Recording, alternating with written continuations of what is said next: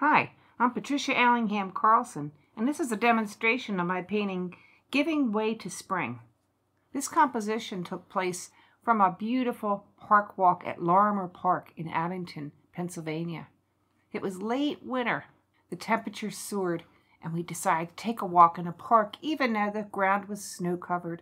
In the brilliant sunshine, we ended up shedding our hats and our gloves and opening our coats and just enjoying this beautiful walk very, very much. And I'm so glad we went. I hope you enjoyed my demonstration. And give it a thumbs up if you do. Now let's paint. That had been used for something else and was not successful. So when I'm working on paper that I don't really care very much about, I often feel more free to do whatever strikes me as right. I'm starting with a sketch of a winter scene, a photograph I took a while ago while I was taking a really nice walk in a park on a warm day filled with snow. My sketch is fairly simple, laying out the roadway or path, laying out the stream bed that goes through, and then the hillsides in the background. I sprayed the paper with water to keep a light and dotty sort of approach and touch in with the blue sky in the far background. This is a mixture of cobalt blue and turquoise blue. The sky had considerably more light on the left side, including some rays that came through of sunlight so I was thinking about some different ways to approach those rays of sunlight to preserve the whites. Meanwhile, I start with the far background, and since it's so wet, I know it will blur out and lighten in color.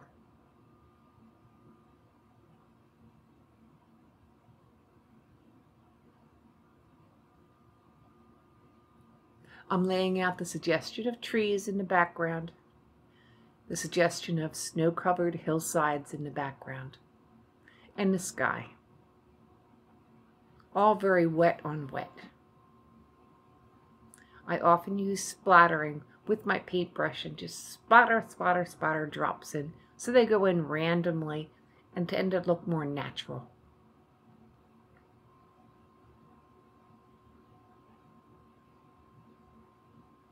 Here I'm laying in some bushes that are in the middle ground.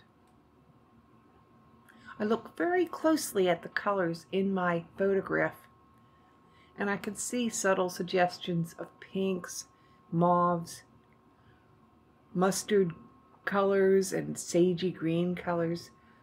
So I play up those subtle colors and make them just a little more enhanced than they actually are. And I do know they will fade out and be lighter. and then I start to lay in some distant tree lines, some trunks, knowing also that they will fade out. I'm painting very loosely at this point.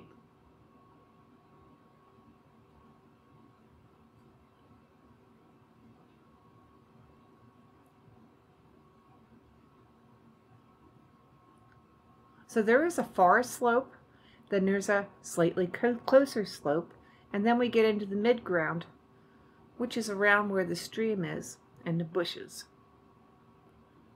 Right now I'm painting around where the rays of sun are coming through. And I'm going to decide how, how I'm going to handle that area probably a little later on. This is just a blurry background layout.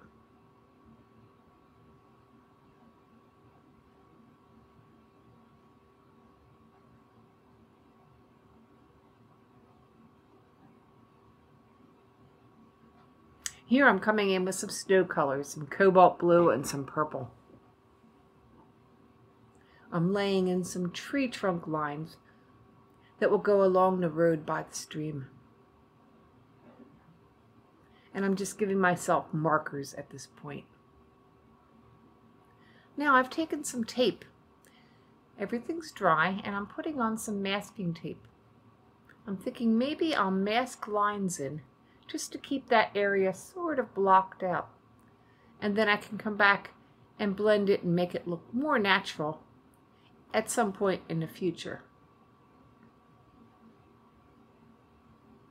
But I will preserve some whites there.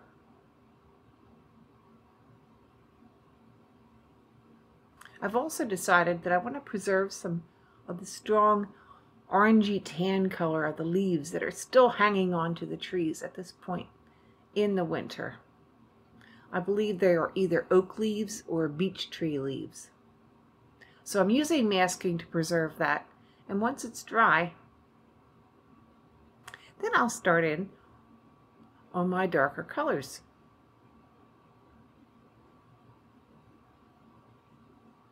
At this point, I'm marking out where I'm going to put the stream. The stream was quite dark in this particular light. In fact, anything that was wet, like all the tree trunks, were quite dark.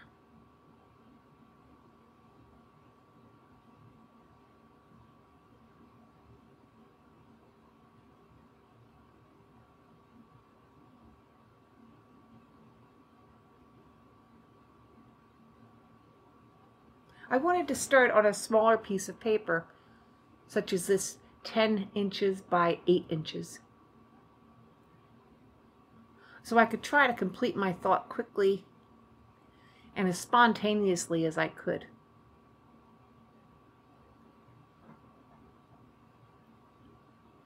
I'm using a mixture of dark blues here, including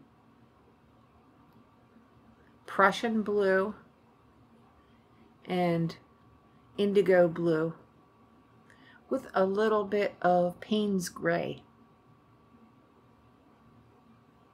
The water is not all one color because there are areas of foam going through. There are areas that are slightly frozen. So I'm being careful to leave lighter areas and darker areas. And in some areas the color changed entirely and I used cobalt blue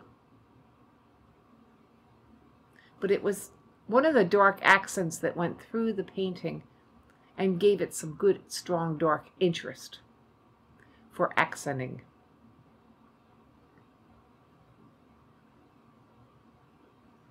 And once the stream bed is laid in, I can then pull in the trees that are going around the stream bed. Since the tape is laid onto the paper, I can paint right over it without worrying that I'm going to mess up a plan for the future.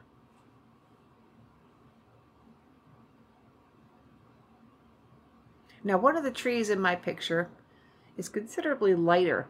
I think perhaps the tree is not in good shape, but it was almost a grayish tan.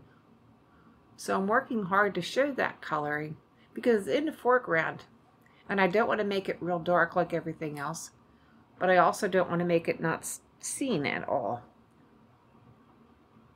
So I'm trying to bring out the texture that was actually in the tree.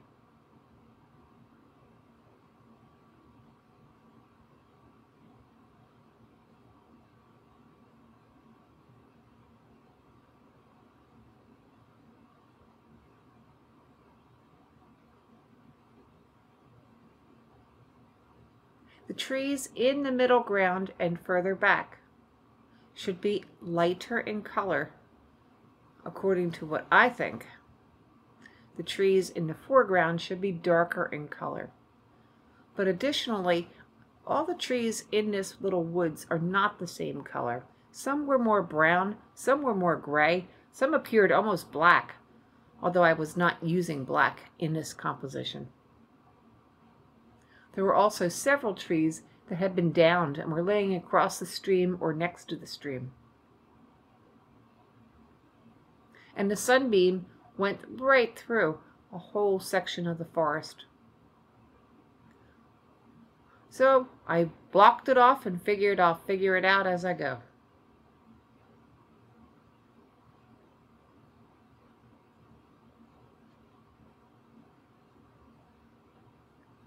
And now it's a matter of choosing which trees I want to put in, marking where they'll go, and then slowly building them up to the intensity of color that I want. As I said before, I'm looking at a reference photo, and there are hundreds, likely hundreds of trees in this photo. I don't want to paint everyone, and I don't want everyone to be as dark. Some should be lighter, some should be darker, and I'm trying to set up a lively pattern or rhythm across the compositional surface. If I painted every tree, it would just get too busy. And yet I have to paint enough trees to make it look like it is a forest. I revisit the background, the far background, a number of times because it was obvious from the photograph that there was quite a line of trees back there. So I couldn't let it be so light. And I will be going back to that again. Now I am having fun putting in some snowy slope colors with the purples and the ultramarine blues and even some turquoise to mirror the turquoise in the sky. The burnt sienna and the pinks are coming in to suggest the lively colors that remain in the bushes, even though it's wintertime, or perhaps the reawakening of some of the bushes as springtime begins to move in.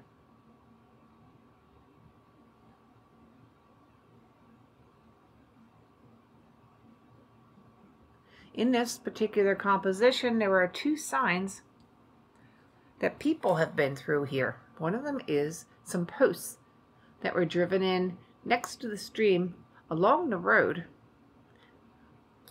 I'm assuming to maybe keep cars from going into the road or snowmobiles, whatever is traveling on this road. The other one is the road itself and some marks that someone has passed that way in some kind of vehicle whether it's a ATV or a Jeep or a park ranger or somebody riding a snowmobile. So there's tracks or tire marks. And I have to admit that was one of the things I was really looking forward to painting because shadows on snow are just a lot of fun to me. Painting a shadow on a hillside that goes down over a road and then down a slope really is a fun challenge. I'm using mostly ultramarine blue to paint these shadows to start.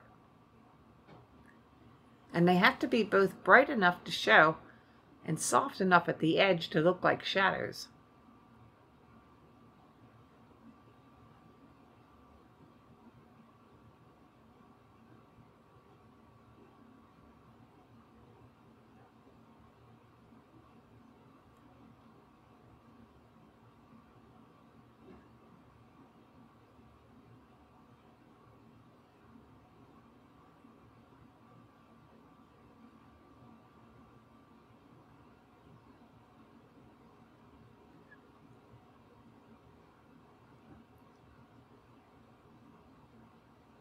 So I'm getting a feeling here for where the the the uh, snow has been pushed aside in the road. And then I'm jumping to the background where I've decided to make the distant slopes darker to make them stand out and be more distinctive from each other.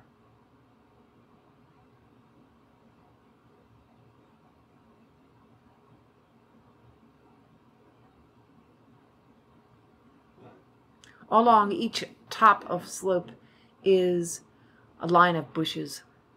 And that's where I'm darkening the color.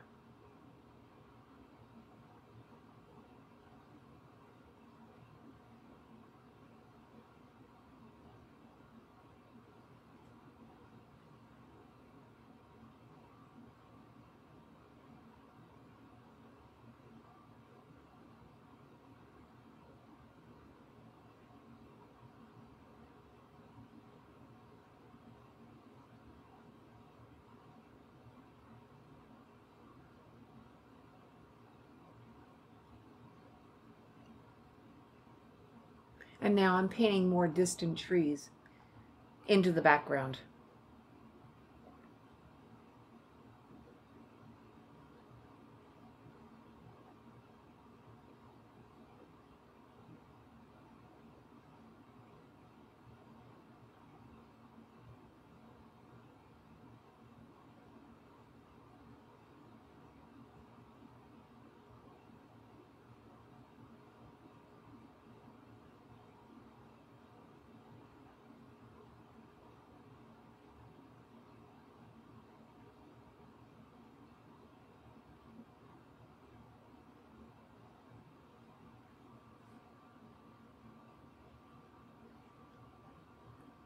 And the feeling of forest is beginning to fill in now and give me a little bit more of the look I'm looking for. Although I still have a ways to go on that. I have about all the trees now marked in where I want them. It will be a matter of darkening the ones that need to be darkened. Some of them I will darken on the right side and keep the left side lighter since that is my side of my light source.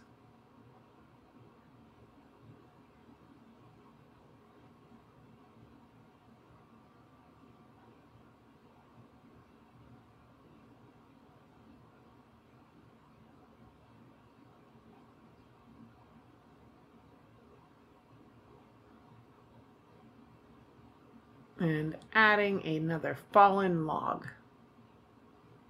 Working on the middle ground bank, putting in some slope marks.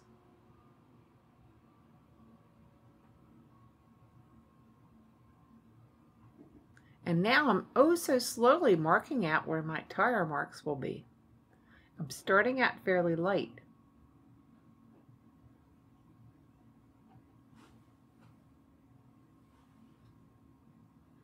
But I want them to be right because they have to go around the corner. They have to both come together and get closer as they move back in space and go in the right direction at the same time. Working on the shadows going around a corner and then the other foreground shadows.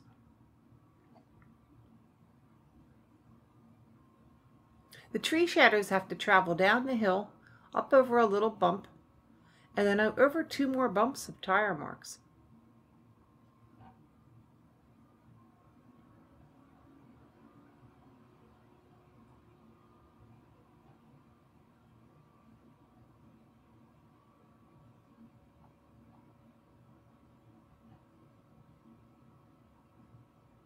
At this point I decide to take off the masking tape and start to work around the very clumsy rays of light and make them more incorporated into the painting. I'm softening all of the edges with a damp brush and blotting.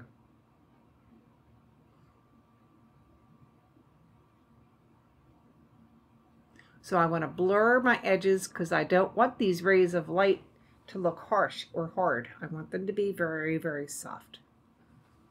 And then I'll have to bring the colors back through them selectively where I want them to show. I'm working fairly wet here so it, I can keep everything sort of blurry. I'm putting in various colors through the rays. Some cobalt blue, a little bit of turquoise, some pink, some burnt sienna, and then continuing to soften around the edges.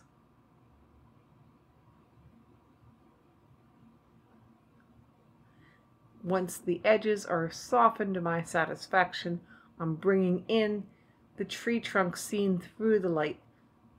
But since everything is fairly wet on wet, they're coming in lighter. I want them to show, but I don't want them to be as bright as where there's no rays. So it's a matter of dancing between the sunbeams, basically. Making them soft enough to look like sunbeams and yet let the, the scene show through.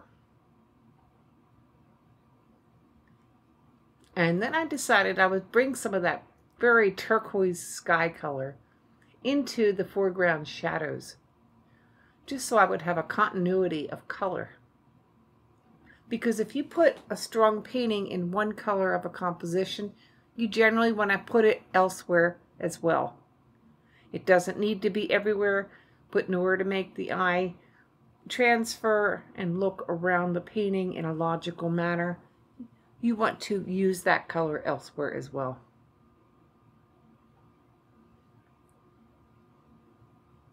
Maybe you could see why I enjoy painting shadows so much. The colors are so pretty in the wintertime on snow.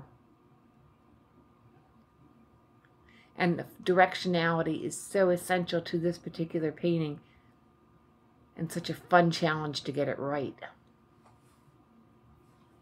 If you look closely at your reference photograph, that's your best chance to get it just the way it's supposed to be, at least to your eye or your satisfaction. Going back and darkening some areas of the water as well.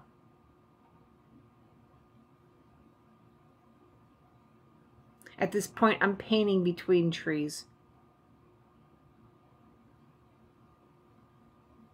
It takes a little more time, but sometimes it's necessary.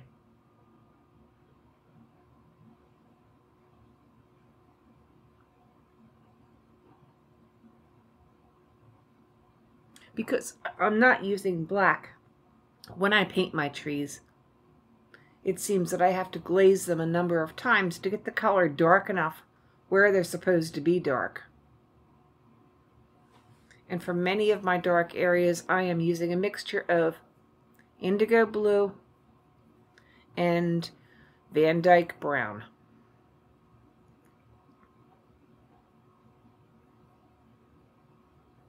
When you look at a tree in a photograph or a reference, they are not the same color from top to bottom. Generally speaking, where the light hits them changes the coloring and the lightness and the value. So look at your reference photo. If you get the variety of color going through the tree, it's going to look more natural.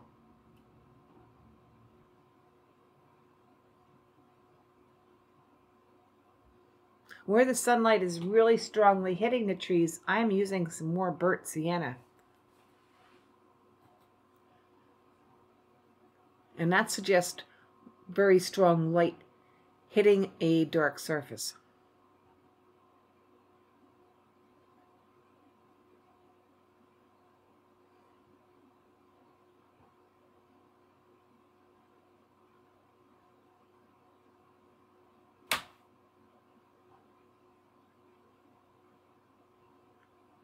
I had some fairly strong areas of pink, which was permanent rose in this case and just about the middle of the painting. I decided to bring some more pink into the foreground, more subtly, and then I brought some into the right side as well, so there wasn't only pink in one area.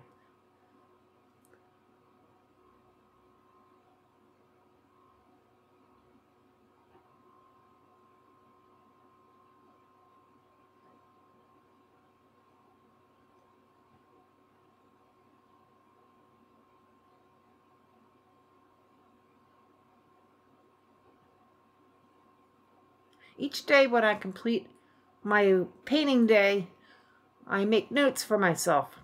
I get my painting off at a distance, look across the room at it, and make notes. I will say, needs more pink, needs more shadowing in this area, needs more background shadowing. Bring out this foreground tree more. And I'll make notes to myself as to what I want to do the next day when I start to paint again. These notes really help me a lot. And you'll see my reference notes as you see me painting.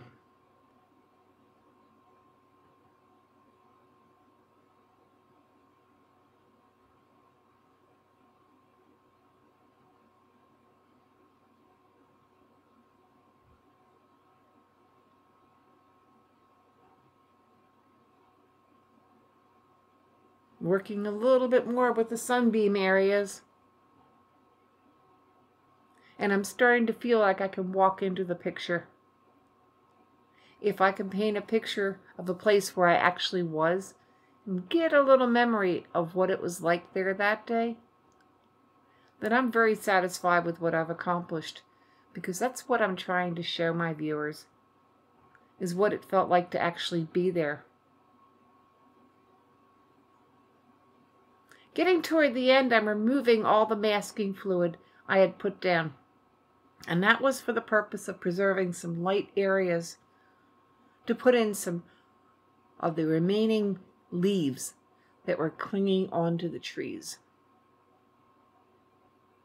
And if you've walked through the woods in the winter or the late fall, And you've seen these trees that do keep their leaves for a longer time period. They're sort of one of the few colors in the winter landscape. They're a drab yellow ochre color or a light burnt sienna color. So I'm adjusting and making the tweaks on the slopes and other notes that I made for myself the day before. And then I will come in and put in those stronger leaf colors in the areas I just took the masking from.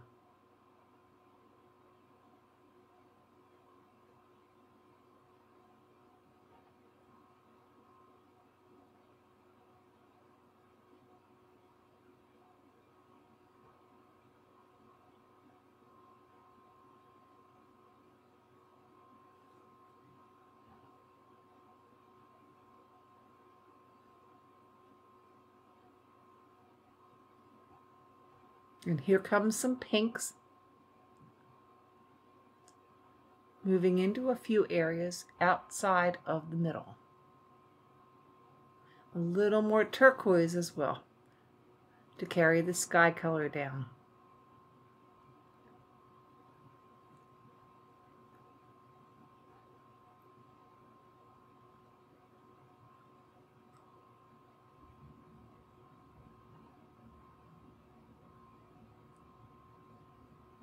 And a few twigs and little tiny trees that are just beginning to come up through the snow.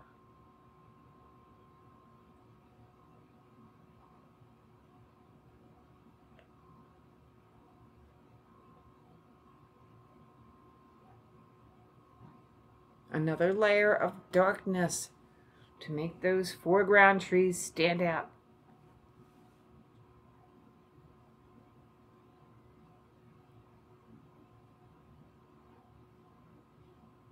And then I'm pulling out my yellows and my yellow ochres, along with a little bit of light burnt sienna to put those leaves onto my masked out areas.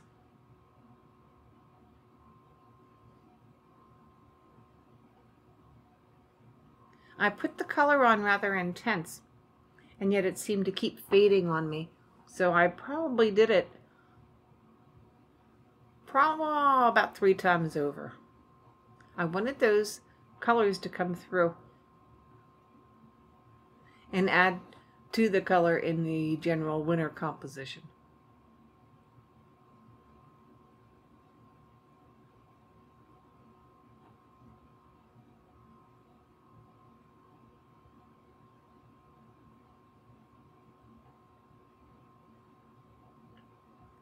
Final tweaks.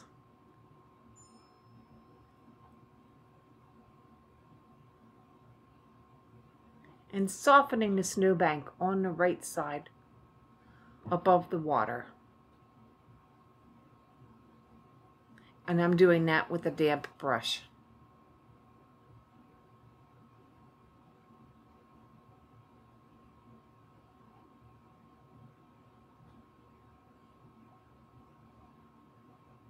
Here comes my signature and I'll be done. I hope you enjoyed it. I hope you enjoyed my video of giving way to spring. I hope you'll give it a like and a thumbs up, and you can subscribe below. If you ring the bell, you won't miss the next one. Also in links below, you can see some of the products I use to create my paintings, as well as my Facebook art page link and a link to my blog. Additionally, there are some products that I have for sale. I'll see you next painting.